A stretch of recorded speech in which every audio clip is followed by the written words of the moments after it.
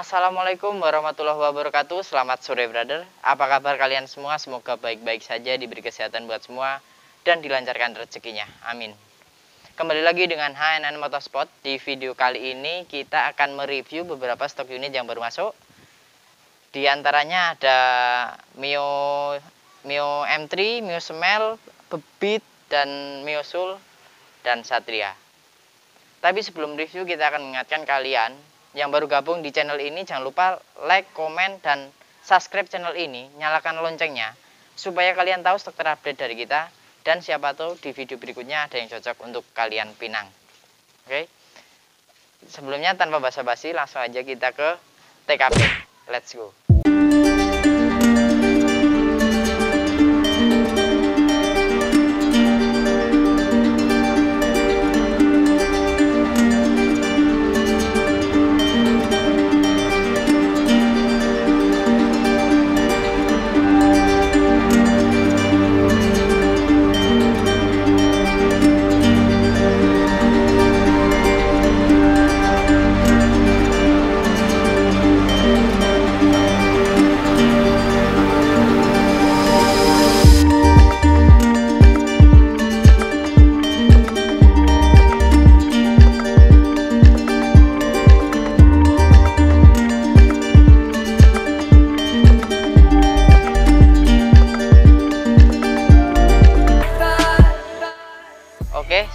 Kita review satu persatu.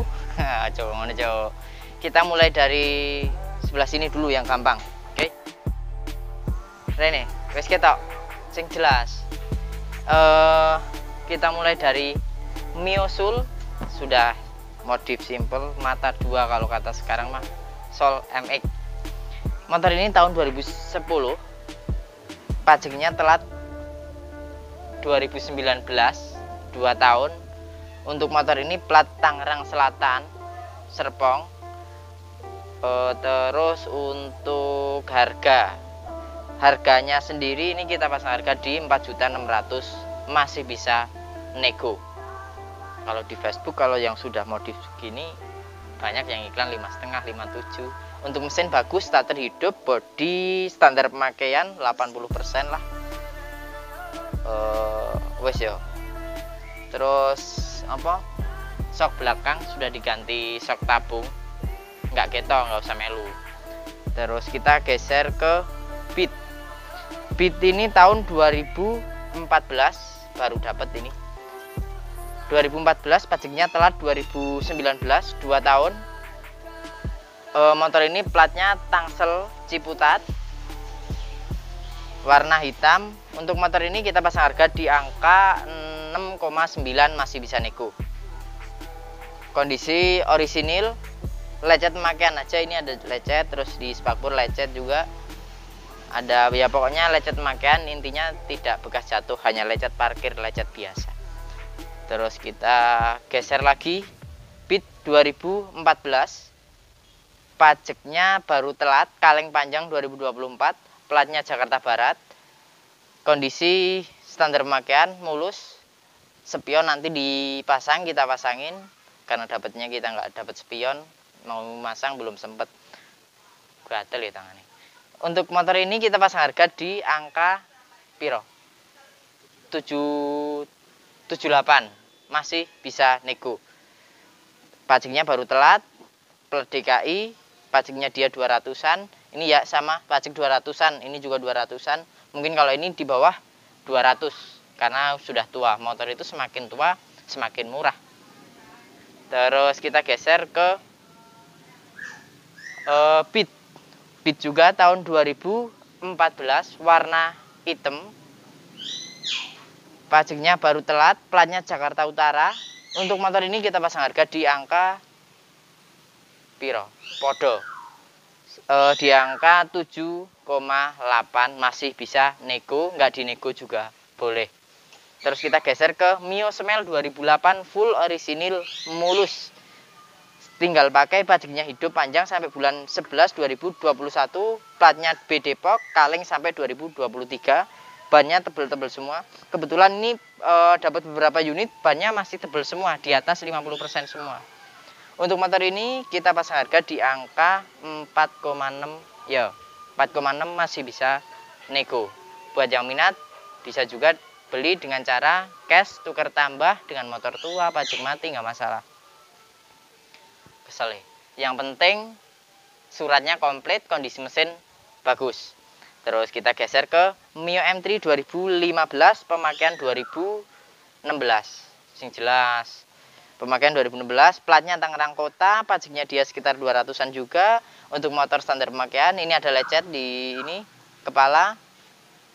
Terus ini sedikit uh, spakbor sudah dicat ulang kayaknya tapi sama yang punya ya bukan saya.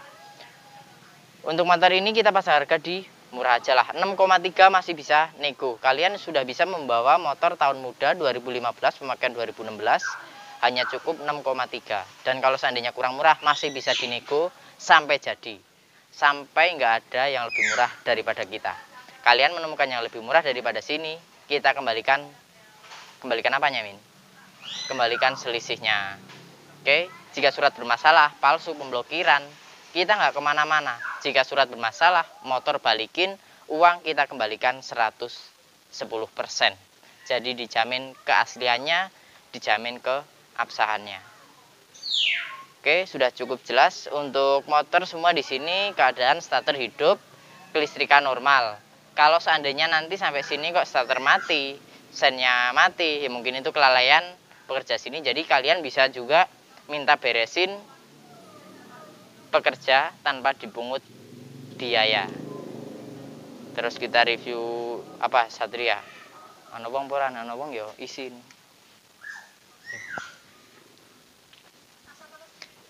Stok yang terakhir Satria 2014 untuk motor ini tahun 2014 pajaknya baru telat. Platnya Jakarta Utara pajaknya dia 300an 400an untuk ban-ban semua depan belakang masih tebel-tebel. Oke untuk starter hidup oh ya ini minusnya. Ini sobat ini patah ya jadi nggak bisa dipasangin sepion tapi kalaupun dibeliin juga murah. Untuk motor ini selainnya untuk mesin body oke okay semua. Body mulus tinggal poles saja. Karena ini baru dapet. Kalau untuk bekas jatuh roboh nggak ada sama sekali. Jadi tinggal poles e, mulus. Untuk motor ini kita pasang harga di angka 6,9 nego nggak? Nego pastinya. Pastinya dinego sampai jadi okay. terus wis lah yo wis jelas ini nah. ngerokok ngopi-ngopi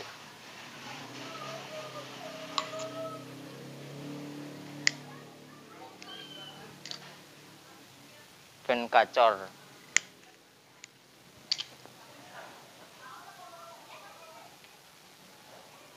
Oke, kembali ke muka saya.